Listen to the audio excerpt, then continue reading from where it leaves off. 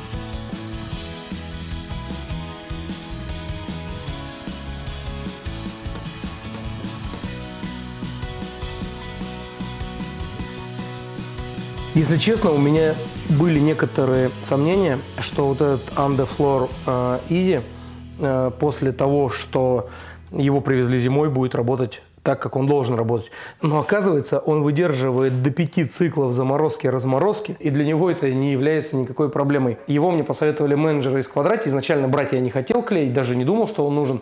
Но, как я и говорил уже в своих роликах, э, он необходим, если вы единым полотном планируете застелить кварц-винилом весь этаж. А в нашем случае именно так и происходит.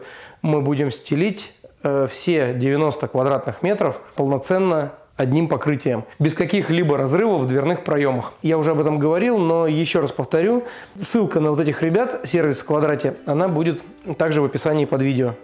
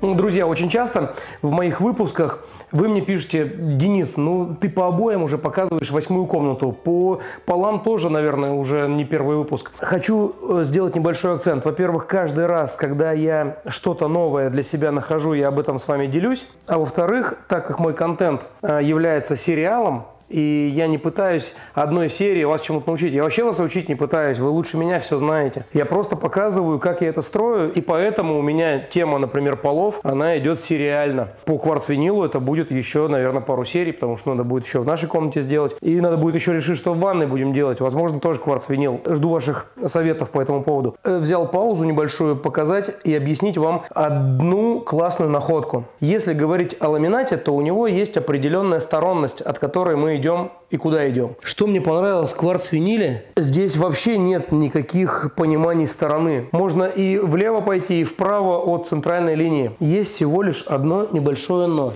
Если мы кварц-винил укладываем вот этой стороной, ну то есть вот э, широким пазиком, то мы можем приклеивать его и без проблем Покажу это наглядно. Кстати, друзья, если вы сейчас видите обрезки, знаете, эти обрезки на выброс не пойдут.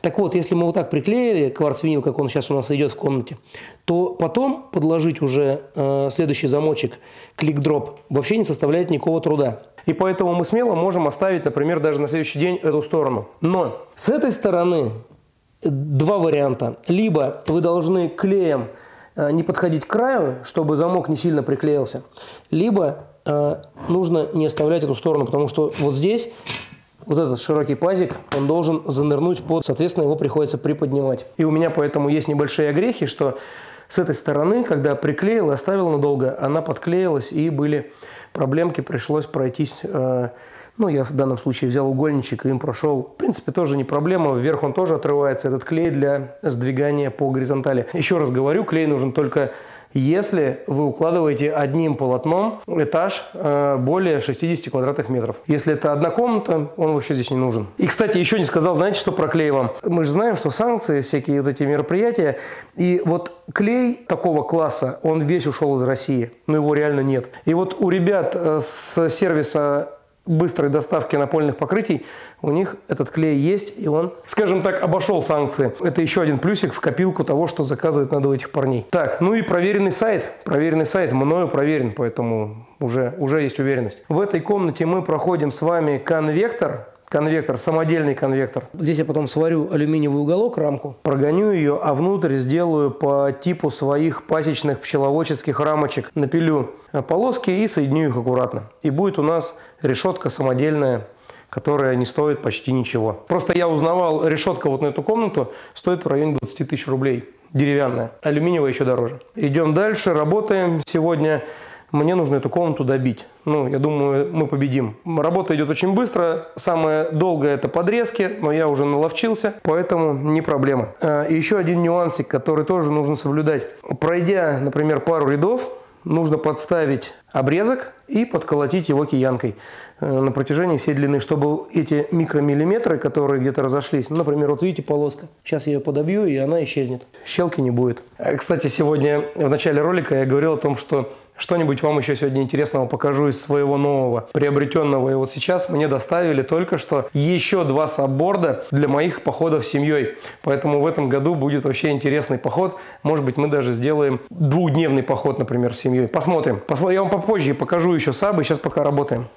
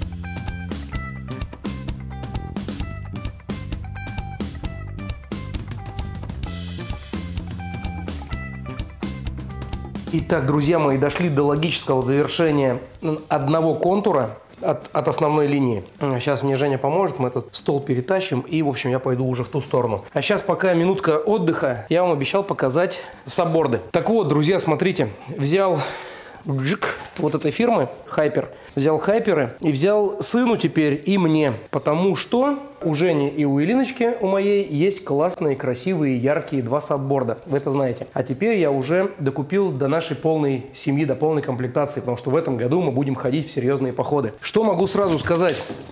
Читал много, изучал много, смотрел сабборды э, не премиум класса. Наша история не про профессионализм, наша история про туризм. Про туризм. Может быть, это будут какие-то походы с ночевкой, пока мы не придумали. Но в этом году я точно эти сабы возьму с собой на сплав на плоту. Кто ждет, тот знает. Это было круто. Это прям такой э, пацанский маршрут с э, элементами экстрима, хотя у нас плот такой неповоротливый, такой э, спокойный, но мы успели там выхватить. Кто знает, как мы выхватили, напишите в комментарии и заинтересуйте тем самым тех, кто еще не смотрел. Так, ладно. В комплектации здесь э, сам сабборд, три лопасти. Кстати, у меня на тех сабах всего по одной. Здесь три лопасти. Потом весло, насос, ремкомплект и томить не буду, я один накачал. Это сына э, борт, он покороче. Моя доска, она по длине 30 сантиметров. Что мне понравилось?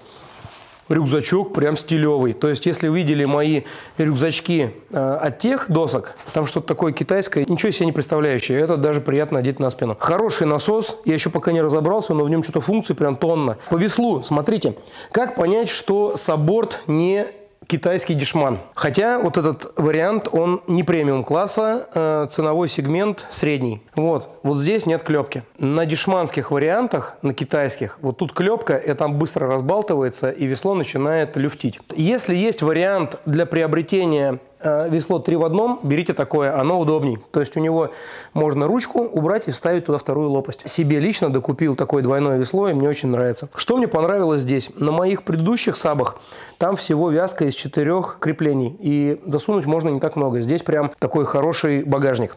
Дальше. Есть 4 люверса для крепления сидухи. Хотя сидуха в комплекте не поставляется, но для нее, во всяком случае, хотя бы есть крепление. Это уже круто. Еще чем отличаются китайские ноунеймы от от э, чего-то более-менее фирменного. На ноунеймах вообще нет никаких маркировок. На фирменных прописано, сколько PCI или баров можно в него закачать. Вот смотрите, мой вес почти сотка.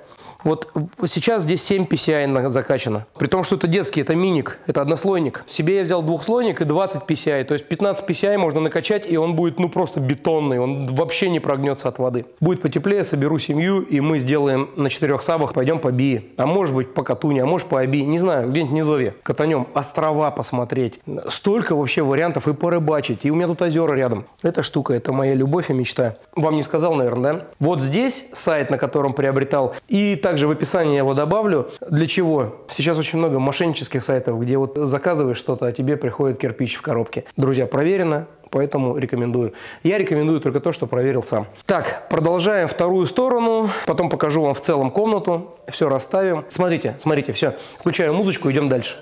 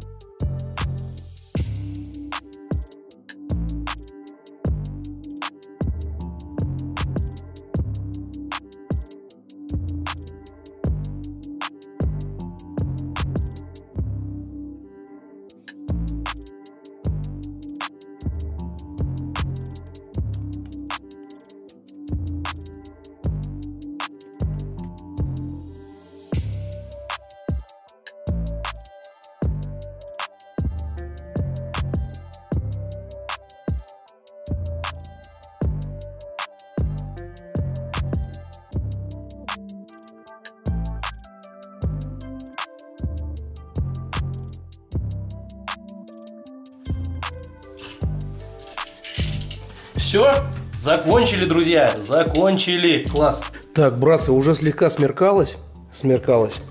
Я э, решил дооткрывать всю комплектацию до конца, посмотреть все элементы сабборда.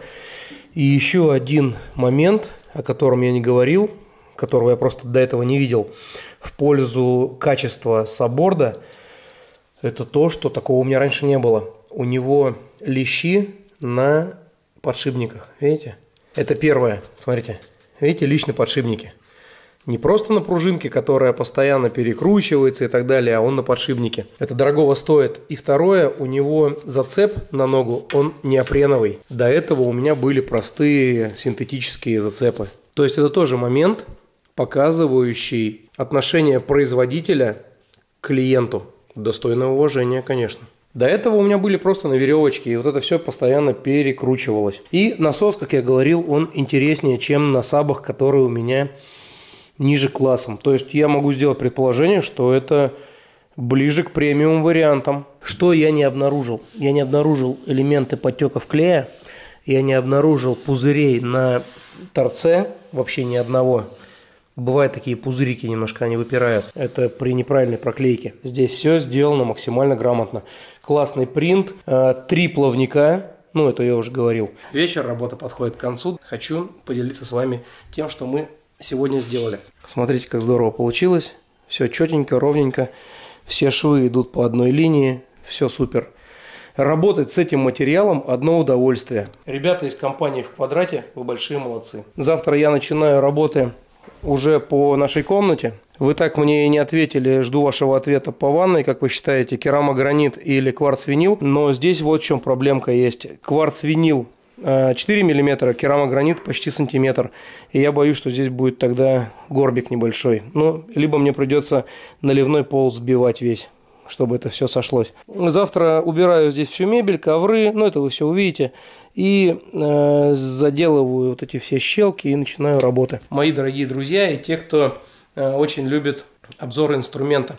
Я думаю, следующий видосик я вам расскажу про одну интересную штукенцию, которая у нас теперь живет в доме. Это тот самый шестой пылесос, о котором я говорил. Но сегодня о нем ни слова, потому что обещал, что у нас будет легкий такой лайт-видос. А завтра я о нем немножечко вам поведаю. Так что, кому интересно, кто планировал себе роботы-пылесосы, вам это пригодится. Потому что по этой тематике мы уже можно сказать, собаку съели. Ну а с нашими полами, с нашими тремя этажами робот-пылесос просто незаменимый помощник в доме. Ни фирм сегодня, ничего, просто по факту рассказал, что будет дальше. Блин, парни, ну смотрите, какой класс. Смотри, хоп. И понеслась. Я доделаю тебя, лестница, доделаю обязательно. У меня время найдется, я все заделаю, покрашу. Все, друзья, я был очень рад вас сегодня видеть. До скорых встреч. Увидимся с вами буквально через там несколько дней. Все, пока. Так, давай тут рукой, а то та поврежденная профлистом некрасиво выглядит. Все, пока, пока.